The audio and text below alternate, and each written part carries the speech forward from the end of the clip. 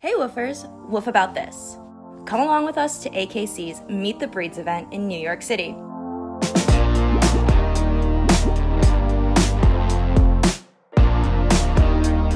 I guarantee there will be at least one breed you've never heard of in your life. Come on, let's go pet some dogs. First up, we have the Norfolk Terrier. Not to be confused with their slightly larger cousin, the Norwich Terrier. The Norfolk Terrier might look like a lapdog, weighing in at a maximum of 12 pounds, but is actually one of the feistiest and most confident working dogs you'll ever meet.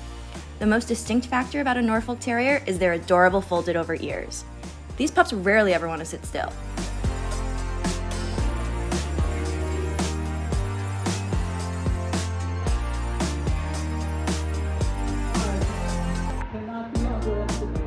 Next, we have the Lagotto Romagnolo, which literally translates to lake dog from Romagna.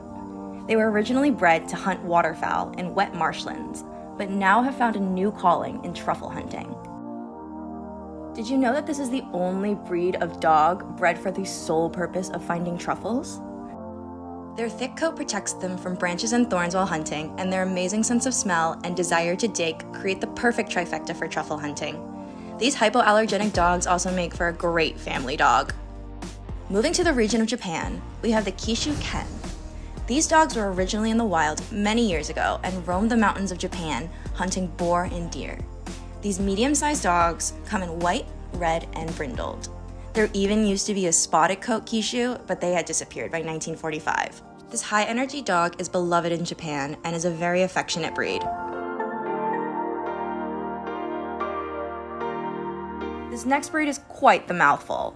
The Xoloides quinti is a 3,000 year old ancient Aztec dog of the gods. They are now known as loving companions as well as vigilant watchdogs.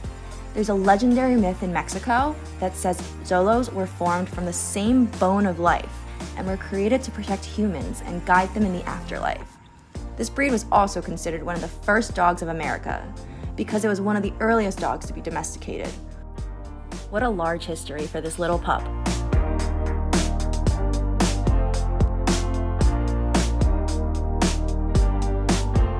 This next dog vaguely resembles the end of a mop, but is actually the Komondor breed. While he can probably camouflage fairly well, he will probably give his hiding spot away with their notoriously loud barks, which makes this dog a very good guard dog.